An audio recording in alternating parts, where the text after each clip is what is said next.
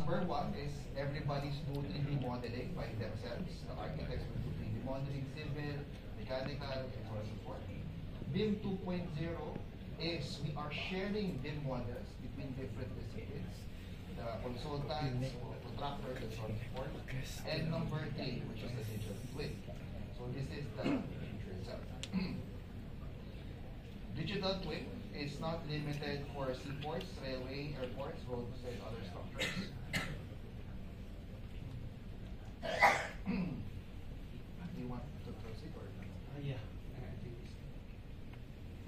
À, có lẽ là cái này thì anh chị cũng đã nhìn khá là nhiều rồi.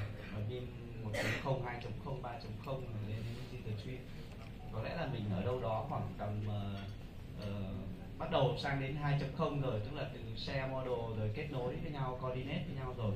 Thì có lẽ là sang đến cái câu chuyện là sau BIM là gì? Thì ông ấy sẽ chia sẻ thêm một chút nữa là câu chuyện digital twin Ok. Do you think on Vietnam, what is stage of Vietnam here? Yeah, we are now is in the like coming to the two two point zero. So right now you're confident Yeah, here, not really like, uh, but we start to move to the 2.0. two point zero. Is everybody agree? mình mình ờ, đến đoạn 2.0 rồi chứ nhỉ anh?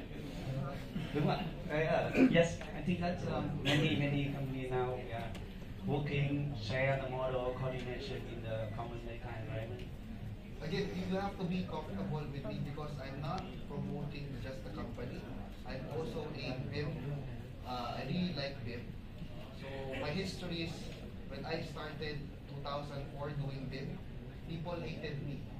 They don't like me because BIM is very slow, very expensive, and people doesn't understand. So that's 2004. When last 10 years ago, I was surprised people are asking about BIM. So that's why I do this. It's not just to get money. I do this because I wanted people to use it. So when I ask, is it this part? If you're not on this part, we can help you to be 2.0. But you have to be in 2.0 because this is very near. Very, very near. If you're not in 2.0, you'll get left behind.